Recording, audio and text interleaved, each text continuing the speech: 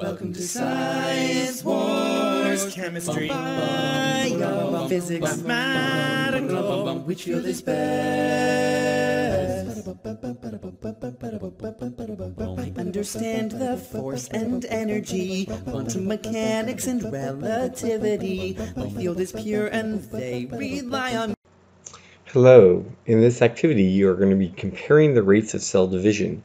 So uh, we'll be reading this blurb, looking at this chart, answer, answering this question in a text box in your submit button, and then you will be calculating uh, the rate of cell division, and you'll be entering that answer in the text box also.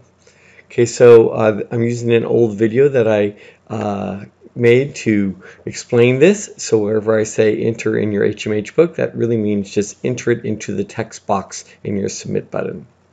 Let's get started. And what we're going to do is we're going to read this blurb together and answer this question and get into our math connection. Comparing rates of cell division. All cells in your body undergo cell division, but the rate at which they divide is linked to your body's need for that type of cell. In human cells, the S, G2, and M stages together usually take about 12 hours. The length of the G1 stage differs the most from the cell type to cell type.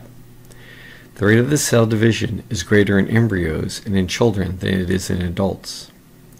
Children have a shorter cell cycle, and many of their organs are still developing, but the rate of the cell division also varies within different tissues of the adult. For example, the internal lining of the digestive tract receives a lot of wear and tear. The cells of the lining also encounter toxins that enter the body through the digestive tract. As a result, cells that line the stomach and intestine are replaced every few days. In contrast, cells that make up the rest of the intestine, mainly smooth muscle, and many of the internal organs, such as lungs, kidney, and liver, divide only occasionally in response to cell injury or death. So now you're going to uh, answer this question, analyze why does skin cell need to divide more frequently than the liver cell? So go ahead and answer that here. And then we're going to go on into this math connection.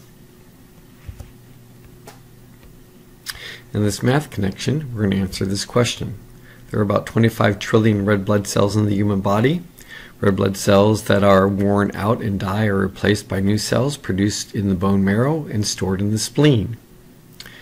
Use the data in the next form, figure 3, to calculate the number of red blood cells the human body loses due to natural cell death every second. Assume there are 30 days in a month. Convert your answer to decimal form and round to the nearest tenth of a million. So um, I've made an example of this, so let's go ahead and look at that example and then we'll go ahead and solve this problem. So here's our example, comparing rates of cell division, skin cells and red blood cells. So different cell types divide at different rates, as we've already seen. So uh, we're going to look at skin cells, and then we're going to go ahead and set you up for doing um, the red blood cells. So skin cells first. So again, we are answering this question in your HMH book on page 444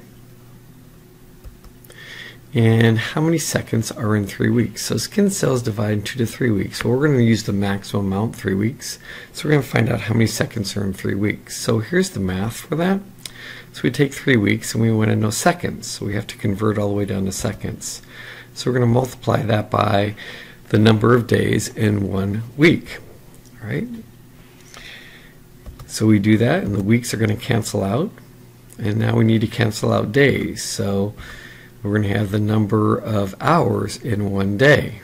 And again, the days will cancel out. And then we need the number of minutes in one hour.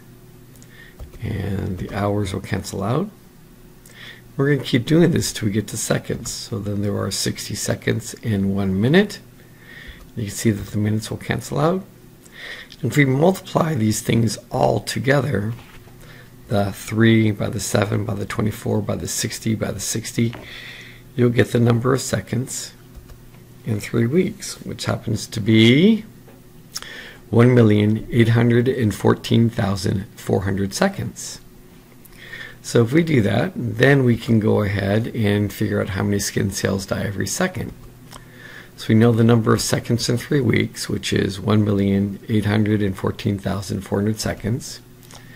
We know from our book that there are 35, or actually we don't know from our book, but we looked it up and we found out that there were 35 billion skin cells. So all we have to do is divide the number of skin cells by the lifespan of the cell type so 35 billion skin cells by 1,814,400 seconds, and we come up with our answer, which is there are 29,625 cell deaths every second.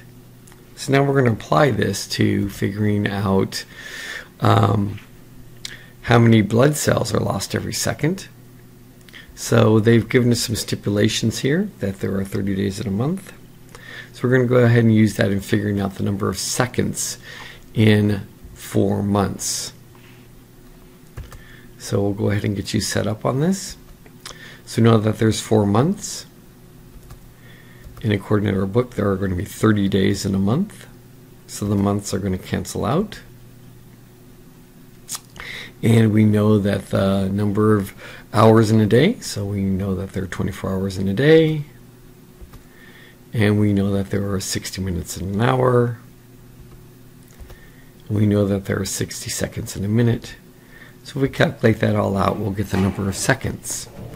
So if you want to go ahead and record that and multiply that out, then the next part of this would be how many blood cells die every second. And we'll do what we did just last time. The number of seconds for months, well, you have to calculate that and you would record that there. And we know that there are 25 trillion skin cells because our book told us that. And then all you'd have to do is divide the 25 trillion skin cells divided by the number of seconds in four months, and you would have your answer. So go ahead and uh, calculate that out and record your answer in your HMH book. If you have any further questions, please see your science teacher.